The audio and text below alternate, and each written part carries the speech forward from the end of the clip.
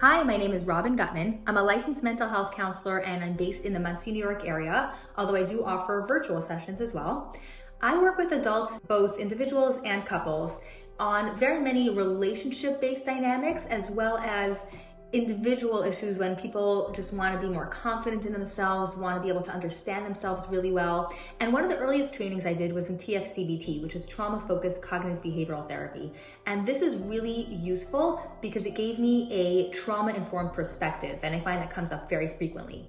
Some of the other trainings that I've done include EFT, Imago, Gottman, and most recently IFS, Internal Family Systems. I can be reached through OK Clarity and also through my website, www.robingutman.com. I have some articles up online, so if you want to get more of a feel for my perspectives and the way I work, you can check those out. I am offering a free initial 10 minute phone consult. So if I can be of service to you, please reach out. And if you have any questions, I'd love to hear from you as well.